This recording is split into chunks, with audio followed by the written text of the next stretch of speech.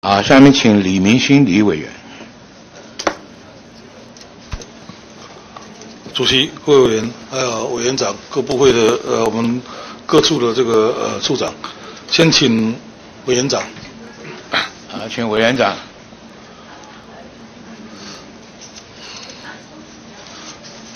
李委员好，你好。呃，委员长，这次我们国庆回国了有这么多人了哈，那么我们补助啊，老实讲不算多了哈。而且这个不是补助，直接补助给这个华侨个人，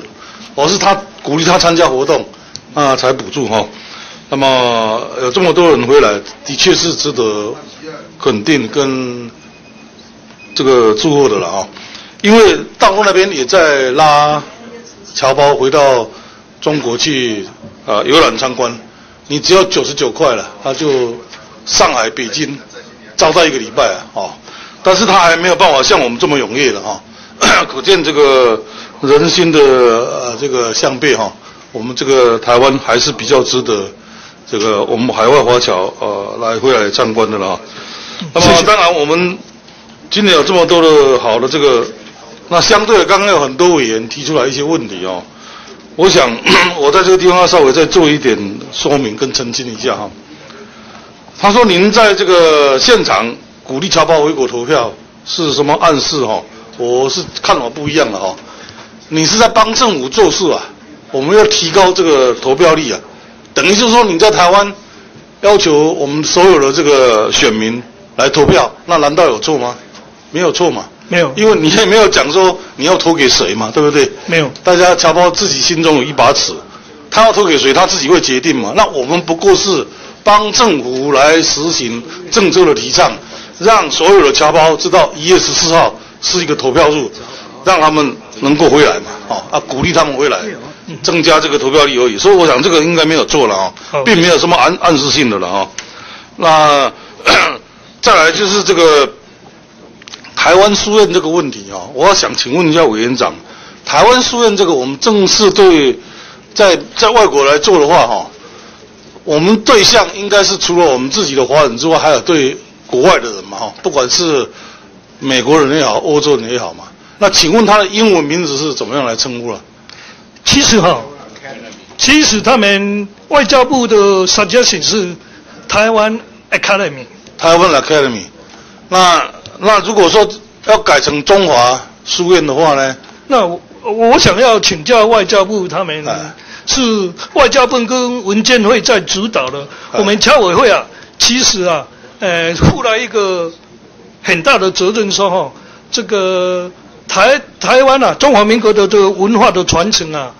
一定要用这个文字、这个文化、这个语文先开始。是，所以我们侨委会才跳进去说，我们侨委会来帮忙，好不好？对。第二个，因为要盖这么多书院呐，一定没有钱的。所以我们说侨委会啊，在海外有十几个文教中心，几个文教中心啊，我们是不是啊，改变一下子形态啊，就可以把这样装潢起来哈，重新来装备？那这个主导是哪一个单位在主导？其实哈，是这个文建会在主政了。刚刚开始的时候哈，台湾书院哈是文建会在主政，到最后哈，很多部会，外交部、教育部。文建会跟我们侨委会啊，就自自我们侨委自动自发的时候，我们语文很重要，是不是用语文来？所以我们就跳进去了。这个侨委会啊，我们任副委员长啊，在这个行政院的会中啊，反映侨胞的意见，我们都有反映过了。但是啊，在行政院的会中啊，个文建会主政下，哎，就把这个名字这个确立去了。其实啊。呃，我们规划的啊，其实是都是中华文化，是吧？那现在问题是说，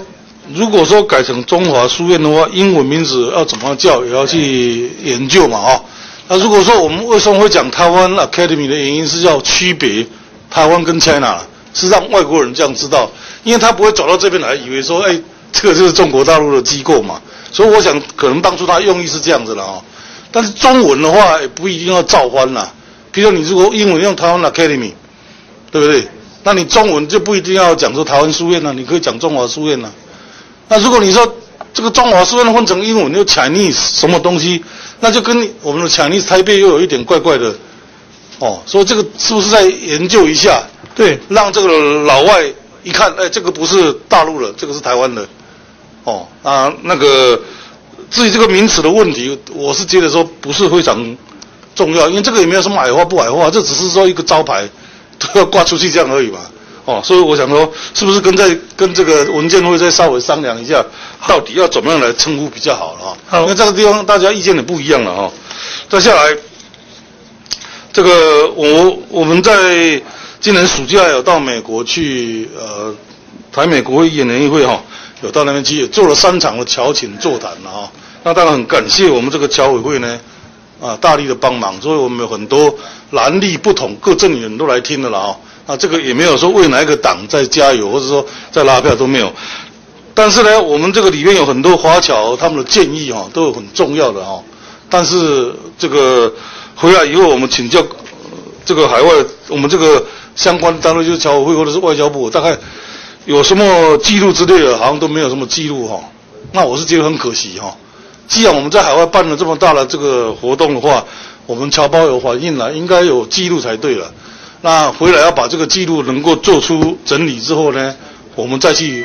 服务侨胞哈，这样会让侨胞觉得说我们不是到外面去随便信口开河，啊回来都不理了，哦，这个是建立一下侨委会，哦，如果我们有这个侨委会华侨文化中心的人出席的话，请他们要能够做记录哦，好。当然我们自己也会做了哦，这个是一个建议哈、好，另外，我们海外华侨回来投资这个问题，好像是越来越越严重哈，然后每一年都在减少哈。当然，这个跟我们现在的海外收入啊，要缴手头税也有一个有有一点相关了哈。因为我们这个海外的手头超过六百万台币，超过六百万，然后呢，这个这个收入总收入超过六百万，那海外有超过一百万的话，那就要缴这个所得税，海外收收入的手头税。那很多开过好多次侨胞的反应都很激烈的啊，他现在变成就是说，让他们心理上有一点感觉，不太敢马上就回来投资啊，因为他怕说到时候是不是这个也出问题，那个也出问题啊，所以这个每年都在降低了啊。那也希望我们能够再跟这个财政部啊，再进一步研究，能够是不是让这个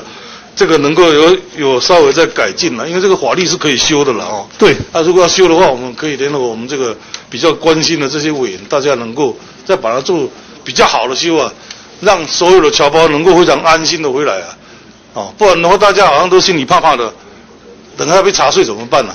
那那这样投资意愿就减低了嘛，那减低对台湾的经济没有什么好帮忙的。对。哦，我们其实也跟委员讲，我们也把这个台商啊、海外的侨商啊，呃，这个跟财政部啊一直在研究沟通。但是最主要的、啊、那个法律啊，是哦三四年前定的，啊是今年这这